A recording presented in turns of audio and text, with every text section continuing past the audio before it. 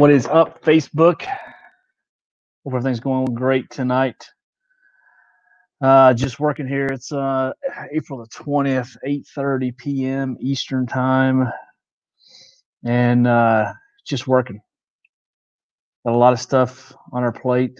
Uh, I've been running some ads tonight, some Facebook ads, some Instagram ads, and uh, I thought I'd just take a moment to take a break. Excuse me. Um, thought I'd just take a break real quick and and, and hop on. I'm on my person. See, I'm on my fan page. I think Jason Dill page. Um, there's quite a few business owners that are on this page. This page, by the way, is designed for small business owners. That's what it's for. So, going live and uh, fire away any questions. If you know a small business owner share this page with them. I want to answer any questions that I possibly can right now. Uh, we'll talk about anything from taxes to advertising to generating cash flow to you name it. Um, mostly just designed for you know, traditional businesses. I'm not not really. Uh, I don't really want to talk much about uh, MLMs or or anything along those lines. Uh, but we will certainly talk about any kind of whether it's an e-commerce, whether it's brick and mortar. I'll give you. I mean, we'll stay in here as long as you want. Share this. Maybe maybe you know someone who is a small business owner that has a question right now. I'm not an expert in the PPP process um, uh, with the loans, but I know people. I can, I should be able, hopefully, to see questions if you're asking uh, any questions. Pop them, pop them on, and uh, hopefully I'll be able to see those. Or if you want to join in on the conversation, I can bring you live on the screen. I think I've figured out how to do that. I think we'll give it a shot. I mean, I don't have my staff with me tonight. I'm kind of doing this here alone and unafraid. Uh, let's see here. So yeah, um, we'll talk about anything. We'll talk about, I mean, you know, anything in the real estate, anything in the uh, e-commerce, selling inventory, selling products, selling whatever you're selling, whatever service you're providing. We can talk about it. And again, I'll be happy to bring you in, or we can see you on video as well. I've got a couple guys that's supposed to be logging on here shortly. Hopefully, we'll get them logged on. Uh, if you're in Anderson or Knox County, Tennessee, if you're in East Tennessee, we've got a uh, a Zoom meeting call designed strictly for entrepreneurs. It's entrepreneurs helping entrepreneurs throughout this time. That Zoom call, we got uh, Mayor Frank. She's going to be a special guest. Mayor Burton, he's going to be a special guest. Rick Meredith from the Chamber of Commerce in Anderson County, he's going to be moderating the call. Um, we've got Dale Cantrell, an attorney, um, highly sought after attorney in East Tennessee. He's going to be talking a little bit there. And then also, I'll be talking about how to market no money. No, there's no real secrets, there's no real tricks. It just takes work. You got to do it at the end of the day me share this over on, uh, on a couple other pages here.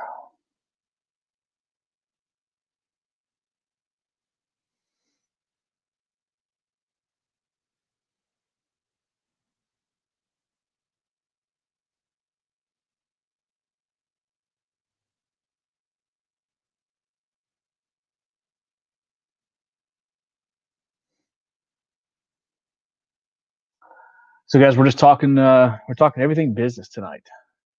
I'm sharing. I'm just sharing this on a couple pages here, so we can get so we can get some comments coming in. Um, be happy to. Um, I want to share it on that page. Be happy to take any questions. Be happy to pull you in on the screen as well. Uh, if you have a small business question, fire away. Do the best we can to get those questions answered. Um, I could share it on the auction site, but I know there's going to be a, a lot of other questions not business related. So I really don't necessarily want to share it there. Um, but this is, again, just going to be talking about small business questions, talking about marketing. How can you market on a shoestring budget? What can you be doing right now? Um, you got to understand social media. You got to understand that social media is it. I mean, that's that's where we're at. I'm not saying newspapers dead. I'm not saying print and radio is dead. I mean, it certainly works. But if you're going to reach a wide audience, and I'm talking about wide, uh, you've got to be pushing social media right now.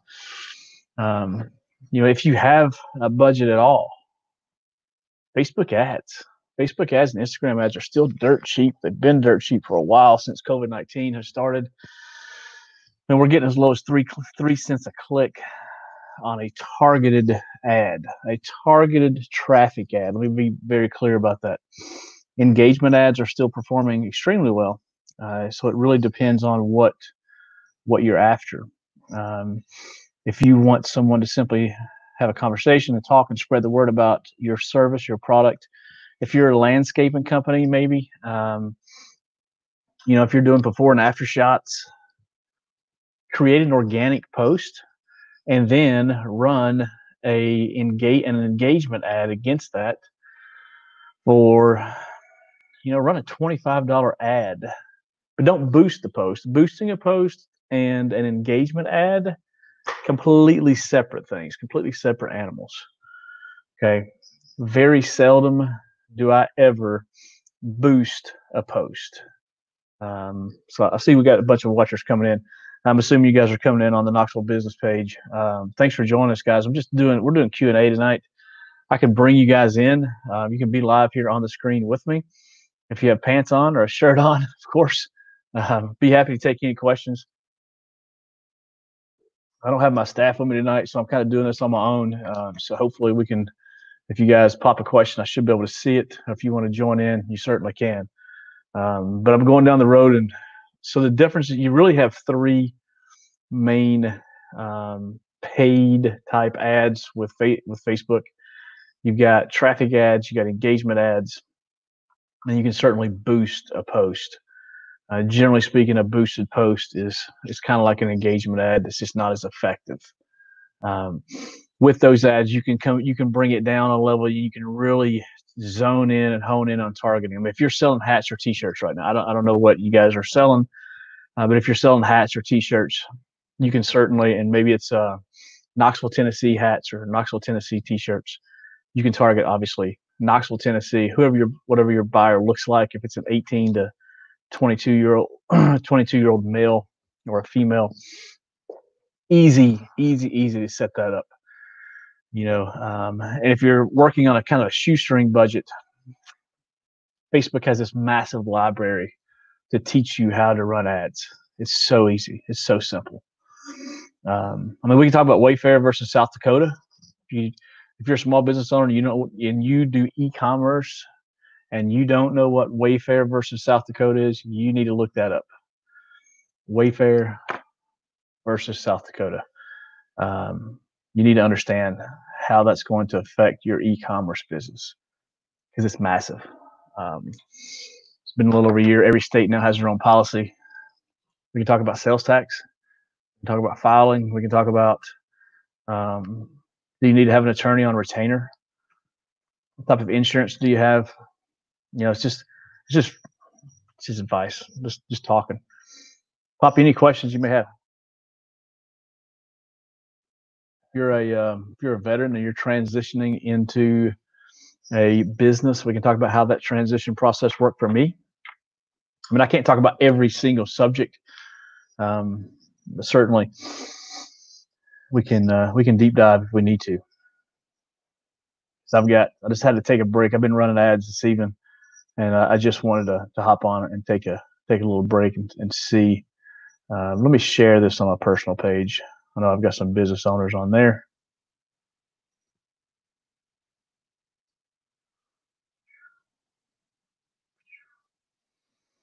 Um, we, we got a few watchers. So again, guys, what we're doing is it's just it's just Q and A tonight. I'm by myself. I don't have any of the crew with me. Um, we're strictly talking Q and A, business, small business Q and A. Uh, if you are in East Tennessee, for now, uh, if you're in East Tennessee, Wednesday night, 6 p.m., we have a Zoom meeting call. Super excited about that. I wonder if I can uh, try something here. Hang on. Move this over here. And let's do this. Let's do this. Nope, that's not going to work.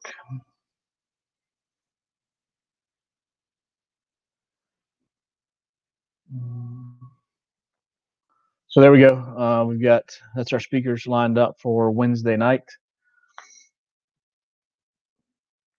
6 p.m. Uh, we got Mayor Frank and Mayor Burton. They're going to be talking, leading your business through the COVID-19. Rick Meredith with the Anderson County Chamber. He's going to be dis- he's going to be the moderator. And I can't believe we've got him secured, but we have Dale Cantrell. He is secured. And he's going to be talking about winning in small businesses and uh, probably a, uh, a few legal things to consider. And I'm going to be talking about marketing on a shoestring budget and generating revenue. Pretty excited about this. We did one last Wednesday at six with 22 small business owners on there, and it was awesome. I'm pretty excited about getting that set up again. Um, so, and this this software that I'm using now, um, it's pretty cool. I can teach you guys how to use this if you're a small business owner uh, and you want to do something like this. You know, it's it's pretty simple, pretty easy to use, um, very very inexpensive. As a matter of fact, there's a free version, um, so you can uh, you can utilize the free version. We can talk about Zoom meetings and how effective those are, and how are you communicating with your staff right now?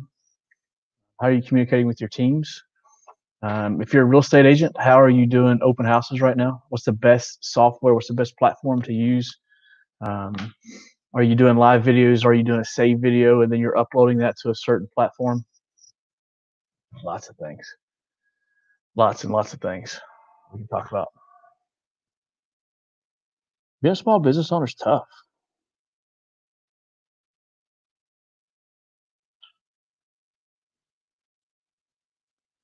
It's tough. But I'll tell you, it's a lot of fun too.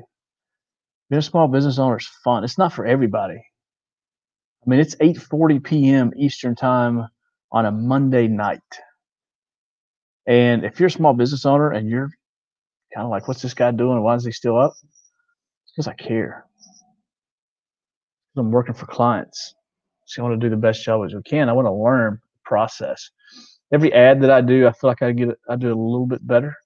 Um, run a little bit better advertisement. We're going to do a deep dive on that on a Zoom call Wednesday night at 6 p.m. I'll be posted on on this page. If you're in East Tennessee, it's going to be right up your alley because you got Mayor Frank and Mayor Burton. Mayor Terry Frank is of Anderson County. Scott Burton is the mayor of Clinton. It's going to be a pretty neat call.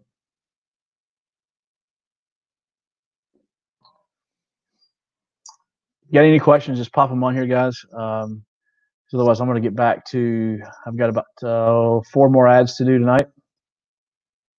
If you don't, if you are a small business owner and you provide a service or you're selling a product, and you're not doing paid advertisements on both Facebook and Instagram, you're probably missing the boat. I'm not saying 110%, but you're probably missing it you should be doing some cross stuff too, right? You should not just be pigeonholing yourself down one advertisement. If you're a B2B company, uh, you got to be on, got to be on LinkedIn. Organic B2B on on LinkedIn is amazing. Got to be on there. Got to be on all those. Because otherwise, how are people going to find you? How are people going to know who you are? Word of mouth, it spreads, but it spreads very slowly we've got watchers. We've got uh, we've got people on here watching. That's cool. Um, problem is when I share this on other pages, I'm not sure that I can actually see other comments if they're if they comment on another page.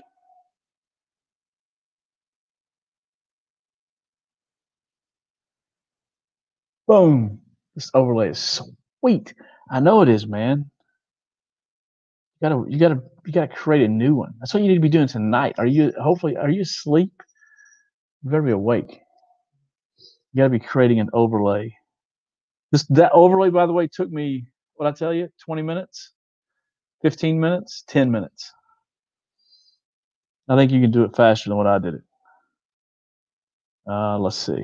I'm just going to see if I can. Man, it is sweet because you know what I'm looking at. I'm looking at this on another page, and it looks really good.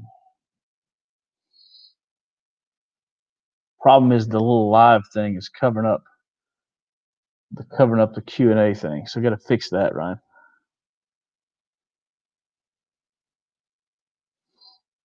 Yeah, the little button that says live, the little red thing that says live on it.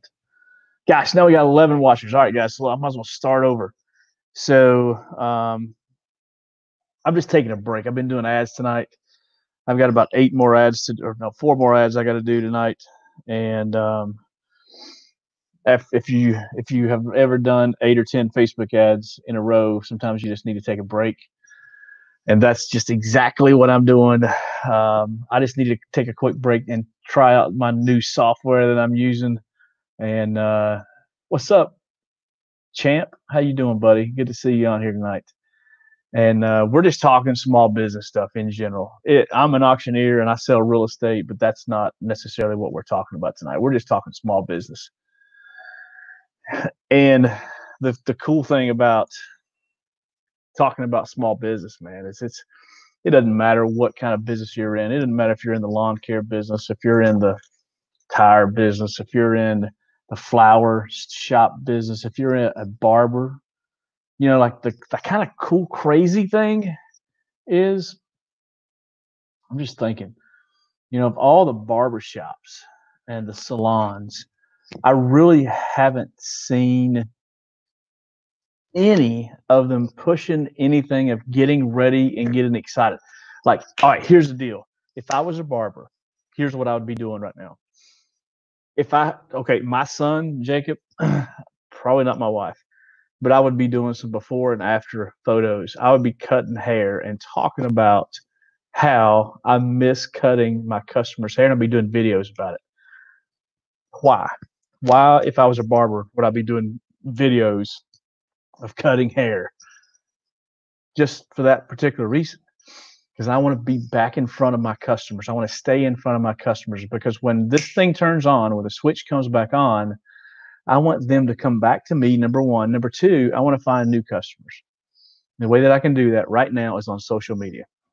But instead, what a lot of people's doing, let's just face it, is they're feeling sorry for themselves, trying to figure out if they can open back up. And I'm not trying to be mean. I'm just kind of my observations of what I'm seeing. Chris says, here in Central Florida, chasing tornadoes in our neck of the woods today. Yeah, I just saw that on Facebook, Chris. Hopefully you stay safe. Please stay safe down there. Um, I just saw something that um, there was a video that someone had posted on Facebook, and it was literally like two streets over. Um, one of our guys who works here with at JD's, he um, his mother and father's home was not completely destroyed, but certainly, I mean, it's, it's probably going to have to be torn down in Chattanooga. You know, we had that that come through. Gosh, I guess that was uh, last Thursday or so. Really, really scary times, which is yeah, pretty intimidating. Yeah, right, right. Back to the barber thing, or videos of fixing those who did a self cut. I mean, think about it for a second, right? You're a barber. what better way to get in front of your customers? A, make it entertaining, because here is this poor soul, your really good friend, who cut their seven year old's hair. And by the way, I did cut my seven year old hair. I've been cutting my own hair for 20 years. Yeah, I know you can't tell, right? But the sit like I couldn't find my scissors, and the scissors that we found was completely dull. It was horrible. So finally, Natalie, my wife, she finds this scissors, and they're like this big. And if you've ever cut a seven-year-old's hair, you only have about eight minutes. That's it, maybe seven minutes tops. And by the time I was done, like I, I was halfway done, he's wanting up, he's getting out. So I basically took the, the clippers to the top, moved the uh, the comb up, and I'm just kind of cutting as I'm going. Hey, he uh, he, I think he looks fine for a seven year old. Yeah, I mean, I'm just going to say that. And Kim says boys are easier to cut than girls. Well, yeah, I mean, think about it. Like Jed doesn't care. Like he wakes up in the morning now. He's got his he's got his pomade, he's got his hair gel, and he just does it all crazy. And he's like, "Hey, Dad, what do you think?" I'm like, "Dude, it looks awesome." Unfortunately, I'll probably be cutting his hair now for the next three or four years. So, yeah, I don't know about cutting girls' hairs. I guess I never cut Malia's hair before, so maybe I did one time, but I'm not. I don't think she would let me cut her hair. But really, truly, I mean, think about how simple this is that we're talking about. If you were a barber, and how you can effectively do videos to be in front of your customers and post on your on, you know, Jim's barbershop page. I mean, how easy is that? That's that's so easy replace barbershop with name it. I mean, John, I hope I don't know if John's on your uh, watching. John Sherman, who owns John's Tire and Service, he and I've been talking. Crank out some videos of you changing oil in someone's vehicle, or checking their brake calipers or brake pads, or you know, why do you change out a cabin filter? I don't know. Do, do y'all know why you change a cabin filter out? In a vehicle? I guess when it's dirty, but when do you know? Right? So you trust your mechanic. Well, do a video. Someone who brings in a vehicle and you pull their cabin filter out and there's like dust and hair and whatever all over it. And this is what to look for. Guys, that's what you got to do. That's what you got to do. Well, cool. we got more um, interaction there talking about uh, cutting hair than than any other thing. Um, let me say this: if you're a realtor, if you're a realtor right now, you need to be watching the market. You need to have a really good understanding of what's going on with the market.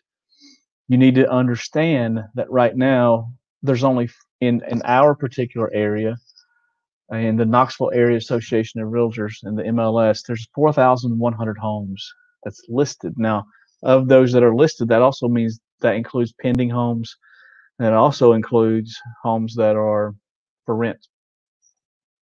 That is uncannily low for April. Now, the spring rush is coming. It is absolutely coming, but you need to understand that so you can be talking to your clients. You need to be making content explaining that. So important. So I could talk about an hour for that. What are some of the craziest things that you find? Oof. Wow. Well, let's see, Chris. That's a great question. Um, so we just sold, I don't know about crazy, but it's ultra cool. 1860 to 1880, so just post Civil War era, a knife sharpener. You think, hmm, well, Jason, that's not that cool. Let me see if I can pull up a photo of it. I think you'll like it it's a knife sharpener that really truly I wasn't even exactly sure what it was when we first when we first saw it. Um, this thing is it looked kind of like a maybe like a butter churn with a crank on the side of it. Um, it was just so unique. And it was from New York. It had this massive like uh, brass plaque on the side of it, and it was just something sharp. Let's try that on. I want to pull this thing up so you can see a photo of this thing. It is incredible. And it sold for $340. Get ready for this. Share screen and boom. Check that thing out. How cool is that? So along the top up here is where the uh, the knife blade can go in here and then over here and then over here. And on the other side, so that's out of, oh, sorry, London, not New York. There's the slot that the knife goes into. And there's the crank. You uh, crank on the uh, the handle there to make the wheel turn on the inside. And uh, man, th- this thing is just ultra cool and in great shape. Never seen one. There's a top view of it, as you can see. Just never seen anything quite like that. And I thought that was ultra cool. So that's just one thing uh, that we found here two weeks ago. Um, of course, we found the Babe Ruth baseball. That was ultra cool in a closet. Um, I mean, that's just you don't find stuff like that. It's just super cool. Um, I mean, we found some unmentionables, right? Don't want to talk about those. Just when you go through a state, sometimes it's whatever was in the home, you know. So some of it's kind of cool and some of it's kind of creepy. Um, a lot of dead squirrels. A lot of dead squirrels. Found those there recently in a home in Strawberry Plains. So that was unique. Gosh, I don't know. Chris, just about every single estate, we always find something super cool. Kim's on here. Kim is one of our realtors and estate specialists. Kim, what's one of the craziest or coolest things that, that you found? One of the things that we started doing is we're starting to do our top five. It's JD's top five for that particular auction, um, and I think that's that's pretty cool. Um, I don't know, Kim. What's one of the things? Kim's been with us now for a couple years. I'm sure you found um, something kind of cool. Oh, here's a good one. Uh, Brandon says, "Ever found a secret room?" Yes, twice. It's happened two different times. So the first time was in a home in Solway, Tennessee, which is right outside of Knoxville. We're going through the home, and this is in the basement. To get to the basement, you had two ways to get into the basement. One was just through the garage door, and then the second way was a spiral staircase taking you down to the basement. So then you get into the basement, and there's like there's a room that would be like a tool room, maybe just some shelves and stuff in there and it was real, it was ultra cool. Like I don't know how we ever found it. Anyway, you, there's this tool room, and it has like all these racks on it, and it had pegboard. So all these racks were held by pegboard. And I, I feel like maybe we were just kind of hitting the walls or something, maybe just kind of pulling on things. And like this one wall was like really loose. I was like, man, this is getting ready to fall down. Like that's what I was thinking. The pegboard's going to fall. I get to looking, and finally I can see through the pegboard, through the crack, there's hinges. I'm like, oh, here we go there's something going on behind this. So we take that pegboard off, and then here, sure enough, is this wall. We open up the wall, and inside that room was like all. It was just basically a bunker built room. So yeah, I mean, I guess it was like a safe room. So that was pretty cool. That was the first one. The second one, um, in the estate that we just did in Strawberry Plains, was right outside of Knoxville. This lady had built a book cabinet. It was, I mean, it was perfect. Like I want one of these in my home. So you got a you got a book cabinet with bookshelves, and literally like there was a switch underneath one of them that you pressed, and the little trigger came up, and then the cabinets would just open up perfectly. And behind there was racks for firearms, firearms, money. It was like a wall safe. It was it, that was ultra cool. Yeah, so that's the that's the two main ones that we can I talk what? No, you can't talk about that. Yes, Lisa, we have. Uh, Lisa, were you involved in with one of those? I think we uh, we found a couple of those. Actually, Lisa may have found when she was cleaning. Lisa does a lot of our cleaning for us when we get the estates ready. Um, that was in a closet most recently. That was in a closet that um, that we found ashes in. I think we found a couple urns of ashes. Yeah, the guitars from the Senate Jim coolest thing. Yeah. Oh, yeah, yeah. I mean, we find a lot of really kind of unique. That's that's one cool thing about our job is just like it's just you never really know what you're going to find. It's, I mean, and people ask all the time, "What do you got in the next auction?" Like, I don't know. I don't know. yes, yes. Um, we've seen those too, Chris. Right? I'm, obviously, you've seen those as well. Like, well, that would be in our house too. We have two boxes with two um, cats in them, but uh, all of our cats, many, many, yeah.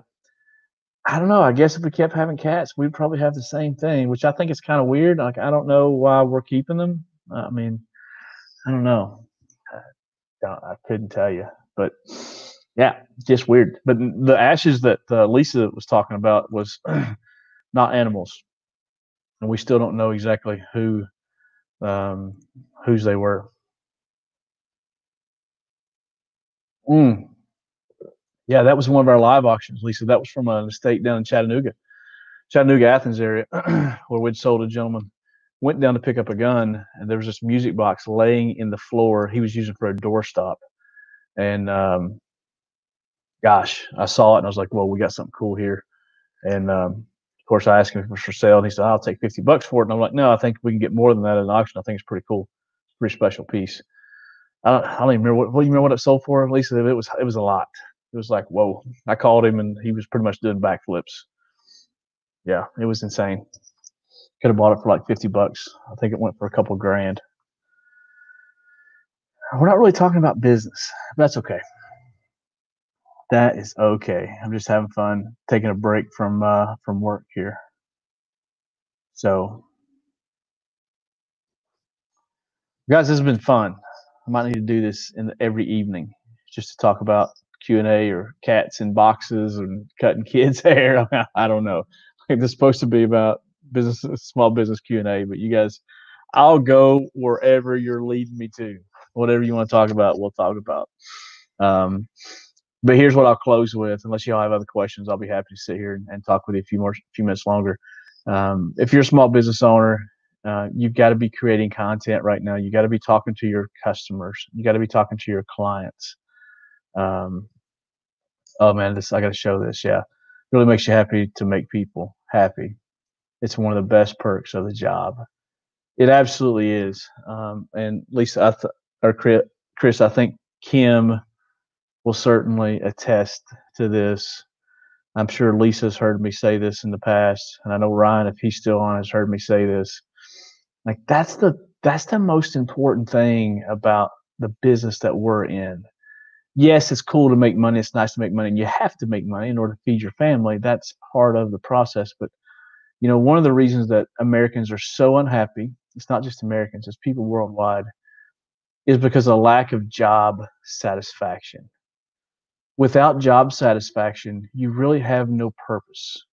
Without purpose, you have no life it's just it's uncanny to be able to help people consistently and help people solve problems on a daily basis. I tell people all the time, we're not a real estate and auction company. That's just a title. We're a problem solving company. And I wish I could call it JD's problem solving company. People just wouldn't really know what it was about. Um, but yeah, I mean, it's just, it's just so, so imperative. How fast do you think Zillow and the other online real estate value services will keep up with the upcoming change in the real estate market as soon as we get everyone up and running full blast. Yeah, you know, it's it's an algorithm that both Zillow and Realtor.com have in place. Is the algorithms don't get updated fast enough because it requires humans to update those algorithms in order to determine a value of that piece of real estate, right? So that's the first problem with Zillow and Realtor. The second problem is the human aspect is taken away if if Zillow continues to go down the road that they're saying they're going to go down, and Chris, I'm assuming you know what they've been talking about, is I've said it and it's, it's in our intro for a lot of our videos. It's people don't do business with companies. People do business with people. And that's what's important. Now there are people certainly who'll do who'll sell something because they're getting a top price because maybe someone submitted an offer. Yeah that happens. But generally speaking people want to do business with people and not just a company. So they're not they're never going to catch up they're never going to get it until they open brick and mortar or brokerage firms or they really employ a bunch of agents to be able to work on their behalf. Now, when you see when we start seeing that happen, then we really need to step up and take notice for sure. Helping people is why I do this job in real estate. Yeah. Kim, that's I mean that's just that's it. Period. End of story. That is it. Uh, Brandon, hey buddy, good to see you on here, man. Uh, we rent in Alcoa and would love to buy. Hey, Brandon, I tell you, right now you got to be looking, you, you got to be watching, because um, there are opportunities right now to buy. There's also a lot of opportunities to sell, um, but a lot of people are kind of on the fence and they're teeter tottering both forward and back. Um, Brandon, I'll tell you, Kim, she's an agent of ours. She can certainly reach out to you um, to see what you can uh, what she can find for you. I wish, you know, what we got to do, uh, Kim and Ryan. Let's let's work with one of our mortgage lenders. Let's get them on the on a call this week. Gosh, it's not one of ours, but it's one some people that we know in the mortgage lending industry. Let's get them on a call. Ryan, work with Kim. You guys set it up, coordinate it, and, and I'll be just let me know. We can't do it Wednesday.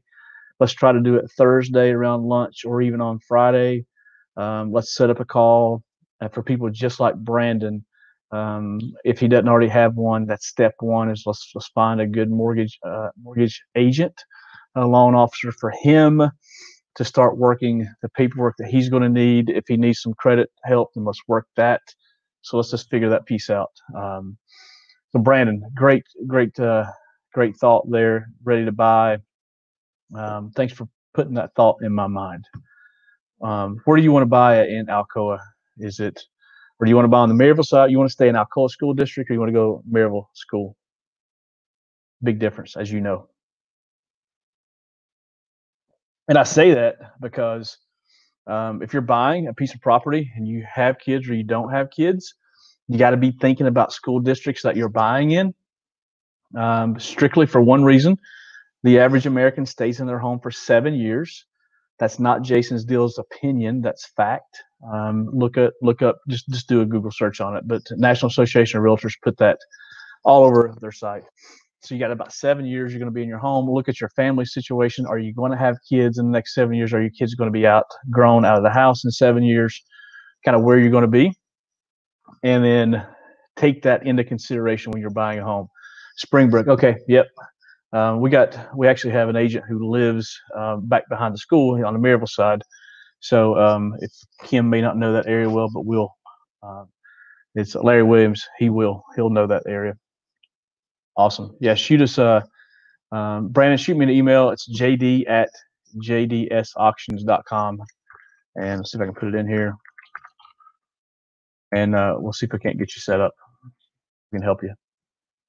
Maybe we can. All right, guys. What else we got? Anything else? It's been fun. 37 minutes. Wow, this time flies. I guess time flies we're having fun. Great, Kim. Line that up. Work with Ryan and get that lined up. Let's get that lined up this week. I wanna I wanna get someone on here.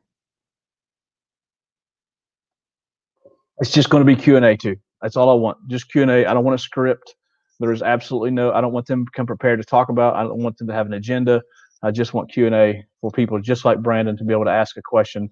I'm renting. What do I need to do? What's step one? Right. Awesome. Thanks, Ryan. Cool guys. Well, I need to get back to work. I've got uh, several ads Oh man, now now Chris is making me hungry. I, I'm about to get home. I think Natalie just made some vanilla bread. Um, yeah, I think she said vanilla bread. I had a bite of it. It was great. The banana bread is awesome. I love it. Awesome. As you guys are awesome. I tell you what. Um, let's plan on. We'll do. We'll, we'll. I'll try to do one of these a day through Friday. Um, I'm gonna try to do them earlier because I'm not. I'm gonna try to go home earlier than 9 p.m. Uh, if I can. That's the goal. So we'll try to hop on maybe midday uh, or maybe even first thing in the morning this week. So hop on if you got any questions, share this video, and it's all about small business Q and A. Have a great night, guys.